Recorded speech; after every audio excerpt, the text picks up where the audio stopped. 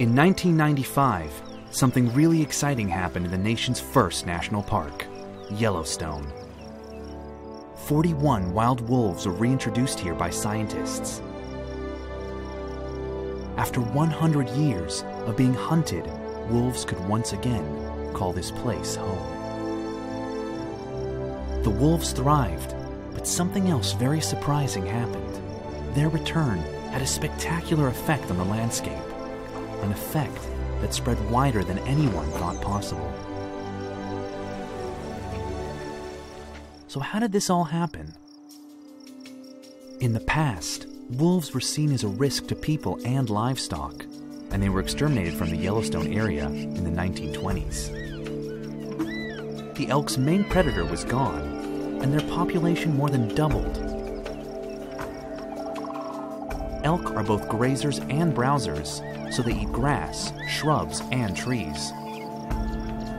They overgraze the entire park, upsetting the natural balance of the ecosystem.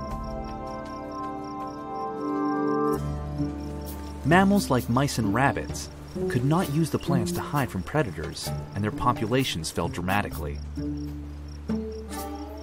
Grizzly bears suffered as the elk munch away their berry supply, which they badly need to build up fat before hibernating. Pollinators like bees and hummingbirds had fewer flowers to feed on. Songbirds, less trees to nest in. Perhaps the elk's most devastating impact was how they affected the park's riverbanks. When the wolf was around, elk were vulnerable when they moved down towards rivers to drink. They would never spend too long by the water, where they could be ambushed. But with the apex predators gone, they gorged themselves faster than the shrubs could grow and gathered in great herds on the lush riverbanks. The mass of elk's hooves eroded the riverbanks, so the rivers and streams clouded with soil. The fish inherited murky homes, and without trees and clean water, beavers couldn't build their dams to live in. Without the protection of the dams, fish, amphibians, and otters suffered even more. And all because of the missing wolf. Now, with as many as 100 gray wolves in Yellowstone National Park, their reintroduction is having an effect that even surprised scientists. Wolves have contributed to bringing elk numbers down from 17,000 in 1995 to just 4,000 today. Since only the healthiest of elk survive, the population is much more robust. All of these elk kills mean more carcasses for scavengers like coyotes, eagles, and ravens. Grizzly bear numbers have increased too. The grizzlies benefit from the wolves' elk kills, and less elk also means more berries. And just the elk's fear of wolves gives the riverbank trees, like aspen and willow, a chance to regenerate they can grow to five times their original size in just six years. The songbirds are returning too.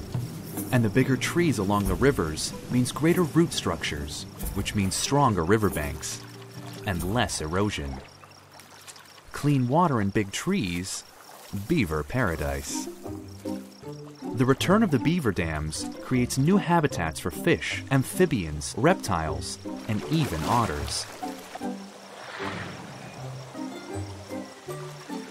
This shows just some of the trickle down effects of the wolves' reintroduction, known to scientists as a trophic cascade.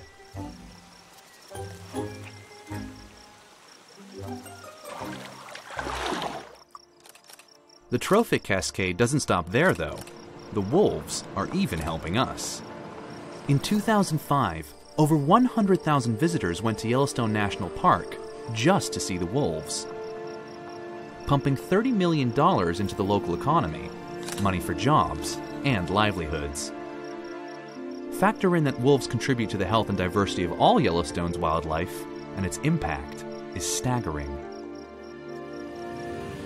The wolf's benefits also cascade down to the 106,000 residents of Billings, Montana. Their drinking water, Yellowstone River, is now cleaner. Who would have thought that just bringing back some wolves could produce such far reaching benefits for nature and for people? From the tips of taller trees down to its cleaner rivers, these wild wolves have rebalanced and restored our nation's very first national park.